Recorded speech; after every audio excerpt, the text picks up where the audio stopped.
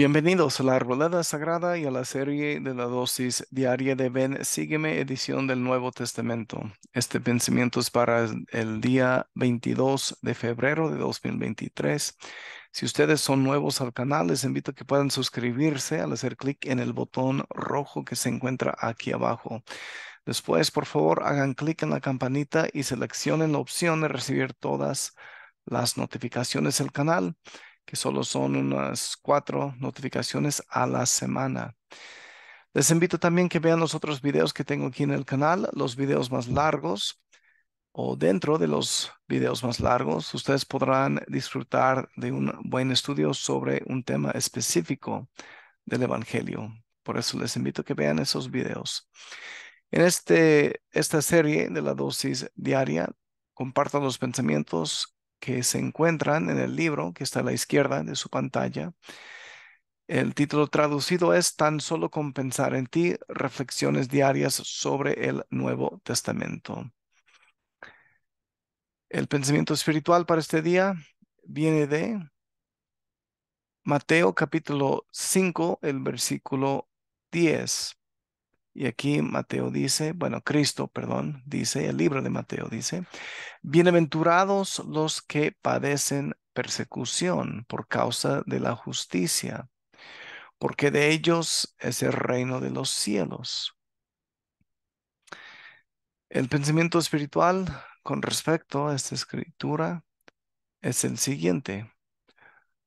Todos los verdaderos discípulos testifican que la salvación se obtiene únicamente al aceptar a Jesucristo y sus convenios y ordenanzas, porque su nombre es el único nombre bajo el cielo por el que puede llegar la salvación.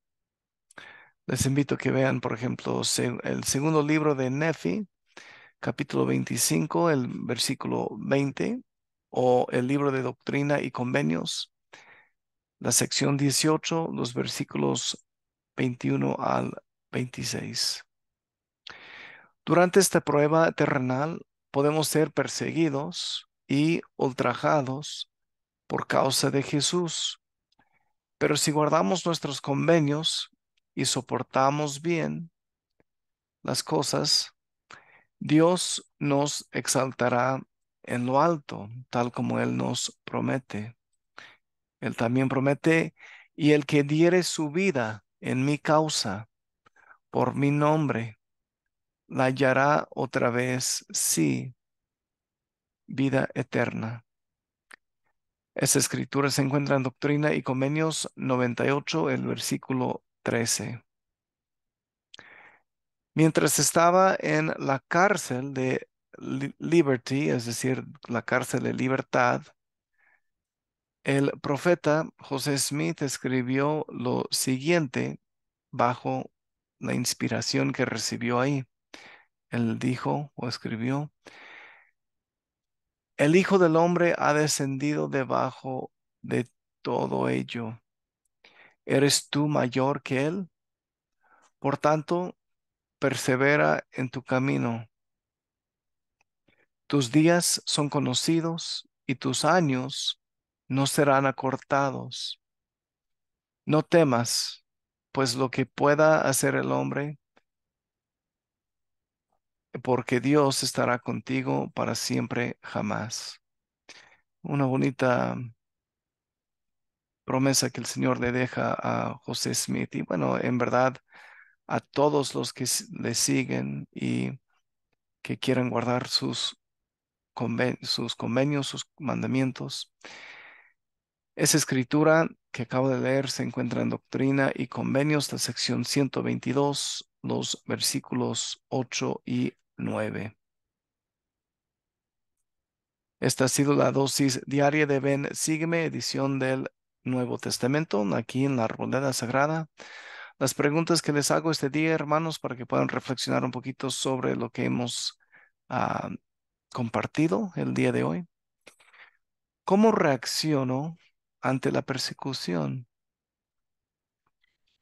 ¿Sigo guardando los convenios que he hecho con Dios? En los momentos de persecución, He sentido la presencia del Señor conmigo. Por favor, dejen sus comentarios en la sección que está abajo. Favor de compartir el video con los demás para que puedan disfrutar de esta dosis diaria de Ven, sígueme. Les invito a ustedes que puedan invitar a sus amigos y familiares que vengan aquí al canal a suscribirse y a disfrutar el contenido de los videos. Déjenme un like en este video, espero que les haya gustado. Y espero que aquí en este canal, La Arboleda Sagrada, ustedes hayan encontrado nuevamente su lugar apartado y especial para estudiar algo más sobre el Evangelio de Jesucristo y sobre las Escrituras. Cuídense mucho, nos veremos en el próximo video. Chao.